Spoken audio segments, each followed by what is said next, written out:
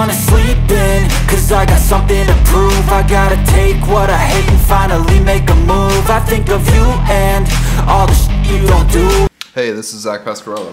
Good, how are you? Now still a good time to talk?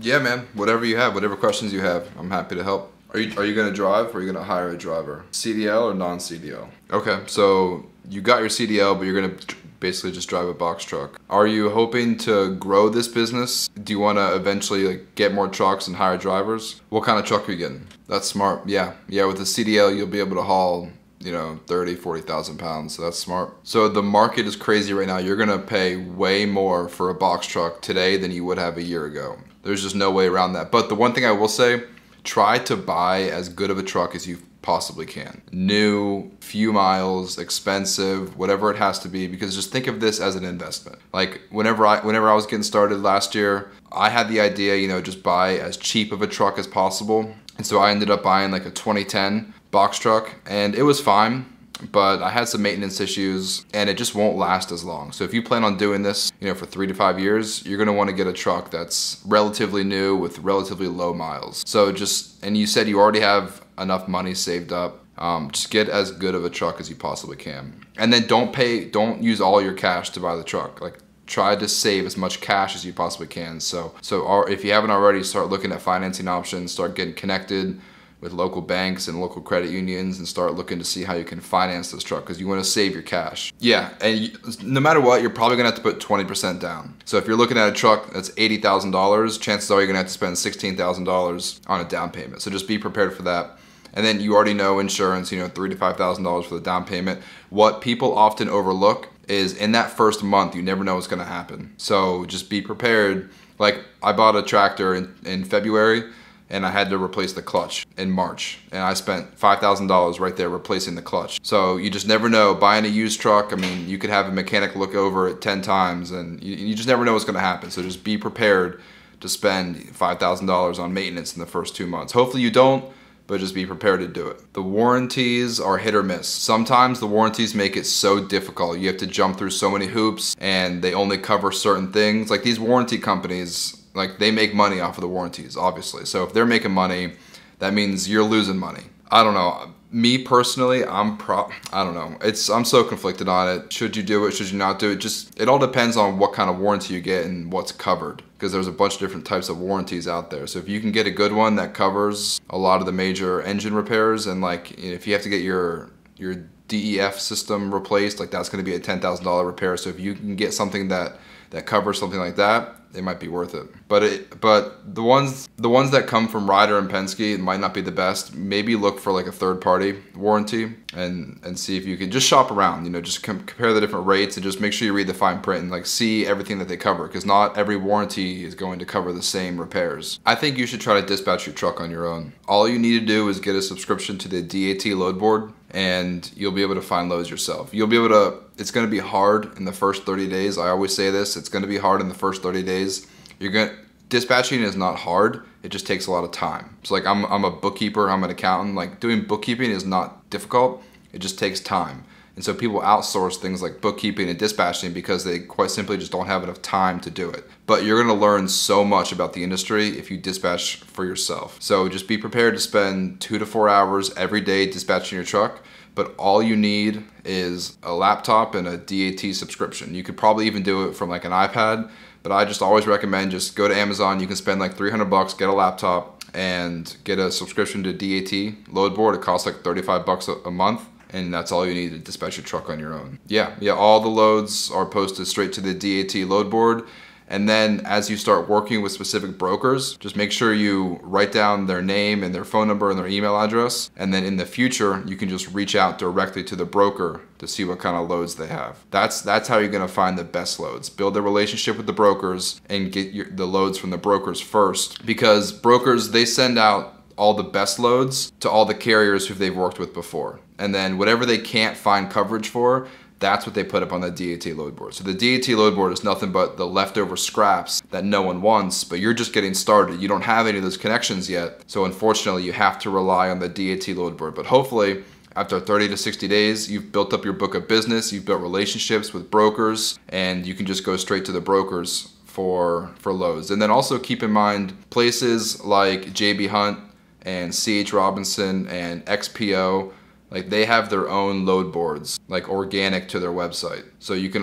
for both box trucks and semis. So you can just so you know you can just go straight to them. They're probably going to have better loads up on their actual load board but just getting started and, the, and those load boards are typically always free. Um, but just getting started you're going to have to go to the dat load board. You're probably going to run a lot of loads with with total quality logistics. You're probably going to run you know just loads with various brokers and then the other thing is make sure you always run a credit check on the brokers. Like Hurricane Logistics was really bad in 2021. They had a, a bunch of loads that um, were not factorable with factoring companies. So just always double check their credit with your factoring company to make sure that they have enough credit so that your factoring company will pay you in advance. Just don't mess around with brokers that don't have enough credit. Who, who are you gonna? Who's factoring your loads? Do you have a factoring company? Yeah, RTS is pretty good. OTR is pretty good. A lot of the factoring companies are the same. Something that I do recommend you do is go to the Better Business Bureau, the like bbb.org, and look into the factoring company before you sign on with them because there are some factoring companies that have really bad reviews with the Better Business Bureau. Yeah, I think it's bbb.org, the Better Business Bureau. Um, I always recommend RTS they're pretty well known and yeah they're pretty well known in the industry and after this phone call i'll send you an email with my point of contact over at rts and she'll be able to help you out yeah they charge 3% pretty much every that's what pretty much everybody charges from what i've seen 3% yeah for sure. You'll be able to put whenever you register the truck you'll be able to put the name of that truck in your business. But that's not necessarily going to build like your business credit just getting that loan for your truck. The the fastest way and the easiest way is just to get fuel cards. They're going to be like net 7 fuel cards and you can get those through your business name. And also you can get credit cards like through Capital One, Chase, American Express. Those fuel cards and those credit cards, those are probably going to report to the major credit bureaus and that's how you'll be able to build your business credit. Yeah, most of the fuel cards like Fuelman, they're net 7. Uh, some are net 30, but most are net 7. But also I don't know what your situation is or why you're trying to build business credit, but I wouldn't be too hyper focused on business credit because I haven't found it to be too terribly useful. I guess I, guess a good question for you is like, what are you hoping to get out of your business credit? Like, what are you trying to do with it? Yeah. So in my experience, and you know, once again, this is just my experience. Um, could be right, could be wrong, but from what I've seen, business credit isn't as important. Like your, your loan officer your bank probably isn't going to rely strictly on your Dun and Bradstreet number. What's what's way more important is first of all having a successful business. Like like you need to have money in your business checking account and you need to have a strong tax return. So if you're able to show your loan officer, hey, last year I had quarter million dollars in revenue. I had net income of $100,000. Like this business is extremely successful. That that in and of itself is going to be way more important than any than any business credit report. So number one, have a successful business, and that's only going to happen after time. Like in the first two months, you're not going to be super successful, but you know, hopefully after the first year, you've got some revenue, you've got some net income, you got some money in the bank. That's really important. Um, the second thing that's most important is just build a really solid relationship with a loan officer. So it's probably the loan officer is probably going to come from the local bank or the local credit union where you have your business checking account, and just build a relationship with that person. And then that person is going to be your liaison to the credit department at the bank, and he's going to basically get you the loan and get you the funding that you need for your business. Like you're not gonna no Dun and Bradstreet number is gonna do it for you. Your your business tax returns, your business checking account, and that local loan officer. Those are the three things you need to get to get funding for your business. There is no shortcut to there is no shortcut to do it though. You gotta just put in the time and make the money. Yeah, so the best way to do it, honestly, just slow and steady just stay organized from the beginning do things the right way like don't don't take any shortcuts because you're going to have your dot safety audit in the first year.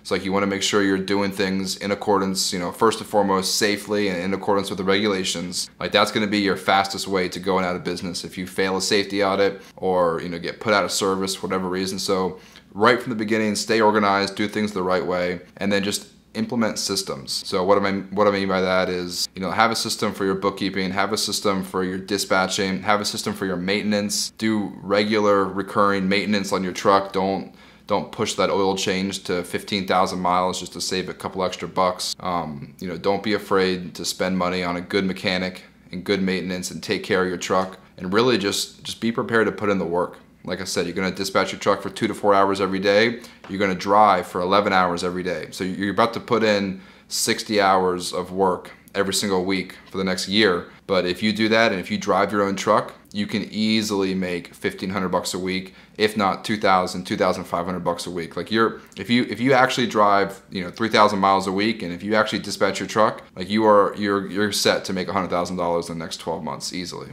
And then and then so all you got to do, so you've got you've got a system in place to make the money and then you got to save the money. So it doesn't matter how much money you make. What really matters is how much money you spend. So for the next year, like if you're if you're if you're serious about getting another truck and building your business, you got to work 60 hours a week, drive 3,000 miles a week, make all the money and then save it. So like you should really just like go into focus grind mode for the next 12 months and just save as much money as you possibly can. That way you can get a second truck hopefully in 6 months and then, you know, your business will just grow itself after that. Yeah, and to make sure you have money coming in and to make sure that you're not spending too much money, you have to understand the numbers of your business. So I'm, I'm always talking about cost per mile you need to know how much money it costs to run your business. Brokers and dispatchers will tell you all day, like, oh, I got you this load, you know, paying a thousand bucks, going to Michigan or going to Atlanta, whatever. But none of that matters. The only thing that matters is your cost per mile and then the rate per mile. So I don't care. I don't care if a load's paying ten thousand dollars. All I care about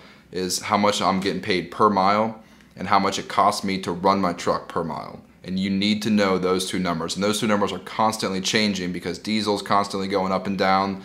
Tolls are changing depending on what state you're in. Repairs and maintenance, you know, fluctuates depending on how old your truck is. And the freight market constantly fluctuates. I don't know if you've been paying attention the past three months, but it's crazy what's going on. Like we're definitely going into somewhat of a freight recession, and it's it's tough. But as long as you're running the numbers, as long as you know how much money you need to make per mile, you'll be successful. And so the big thing with that cost per mile, it's it's a very simple equation. It's literally cost divided by miles. So you just add up all of your cost, and I typically do it on like a weekly basis to figure out how much it costs to run your business for an entire week. So if your truck, you know, costs a thousand bucks a month, divide that by four. Your ins- your monthly insurance pay- payment divide that by four all your maintenance all your tolls all your diesel just get your get whatever you're spending per week and then divide that by how many miles you're driving per week, and then that is literally your cost per mile. So if it costs you $2 per mile to run your truck, then you know when you're negotiating with brokers or working with dispatchers, you know, hey, I need at least $2.25 per mile to be profitable. But it's up to you to figure out those numbers and to know those numbers when you go into your negotiations and, and, conversations with brokers and dispatchers. And and that's the conversation I have with a lot of guys when they're talking about renting a truck versus buying a truck. Like a lot of guys are looking at renting a truck for a thousand bucks a week, and then they think they're going to drive a thousand miles, and then we do the cost per mile analysis, and then all of a sudden they're losing money. So figure out, you know, how, how much your truck's going to cost, how much insurance is going to cost, and then just just look at the numbers. Everything is driven by the data and by the numbers. Yeah, if you're looking for a good truck, you know, truckpaper.com, commercialtrucktrader.com, and then also don't forget about your local dealerships. Like go to Google Maps and just type in, you know, commercial vehicles, commercial trucks and find local dealerships and see what they have. That's where I got I got both of my trucks from my hometown. Yeah, I feel like nowadays a lot of people forget to even check out the local dealerships. They just go straight straight for Google. What's your question? So the freight market is a lot like the stock market. It goes up and down depending on our country's economy, supply and demand, what's going on internationally with China and other big countries. So, you know, just like our stock market has a recession, you know, it goes up and down. The housing market, you know, the prices of houses goes up and down. So too does that happen with the freight market. So it all depends on how manufacturers and suppliers and shippers, it all depends on how they're they're deciding to move the freight. So a lot of people are switching to the rail intermodal stuff on the railroad tracks. So a lot of people are going away from trucks because it was so expensive in 2021 but whenever I say freight recession, I just mean that we are getting paid less to run freight. So before I would get paid 3,000 bucks to drive something a thousand miles. Now I might only be getting 2,500 bucks. So the, the, the rate per mile went from three bucks to 250 and and that'll just go up and down. So whenever i say freight recession i just mean like you know for the past two months and maybe for the next two or three months i don't know how long it's going to last but we're getting paid less to run freight because for whatever reason there's just less freight options out there. But but that's going to happen in, in, any industry you know in, in any business. You're going to have good times you're going to have bad times. You just got to prepare. So whenever you have really good months you might make fifteen thousand dollars next month, but you know just don't go spending that whole fifteen thousand. Just prepare because next month you might you might only make five thousand. So you just gotta you know hope for the best and plan for the worst. Is this a good time to jump into it? The the answer it's impossible to know what's going to happen tomorrow. And I always say this. This is like kind of my quote. Um, the best day to plant a tree was 20 years ago. The second best day to plant a tree is today. So, yeah, sure, it would have been good to start your trucking business two years ago, but I would never recommend that you wait for the market to go back up because no one can predict when the market's gonna go back up. So, in the past hundred years, yeah, in the past hundred years, our country has been successful, so I can only imagine for the next hundred years, you know, I can only hope that we're gonna be successful. Um, but it's impossible to know. You know, the freight market might completely crash, our country might completely crash tomorrow. No one really knows. But I would never let that stop you from starting a business today. Worst case scenario, you try it for a year and it doesn't work out and you move on. But I would not wait a year. I wouldn't wait six months. I would get started today if I were you.